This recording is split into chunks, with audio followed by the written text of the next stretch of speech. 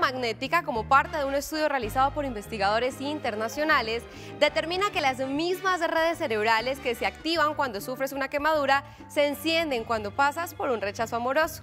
Esto quiere decir que el dolor de una tusa es realmente comparable con un dolor físico. Pero, ¿qué piensa la gente? ¿El dolor de un desamor es físico o es psicológico? Momento de encuestas aquí en Panorama. Es psicológico, yo ¿Por creo. qué razón? Porque todo está en el cerebro. Las dos cosas, lo físico y lo psicológico.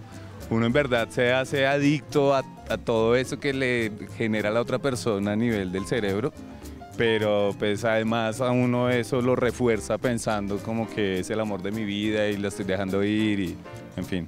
¿Ustedes creen que el dolor de una tusa o un despecho es psicológico o es físico por acá? Los dos. Sí, totalmente de acuerdo. O sea, afecta todo lo que uno hace normalmente cuando pues, uno está entusado, entonces uno empieza a fallar en todo. Psicológico. 100% no te duele nada en el cuerpo cuando tienes una tusa. No, nada. Psicológico. 100%. 100%.